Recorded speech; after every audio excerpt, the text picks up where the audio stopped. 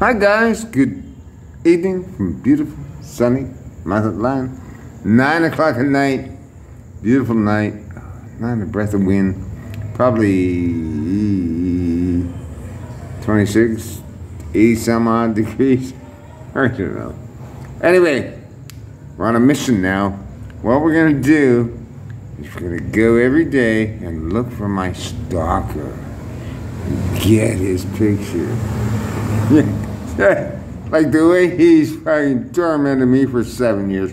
I'm gonna torment him. I'm gonna have his picture, I have pictures of his car, I have pictures of his everything he does.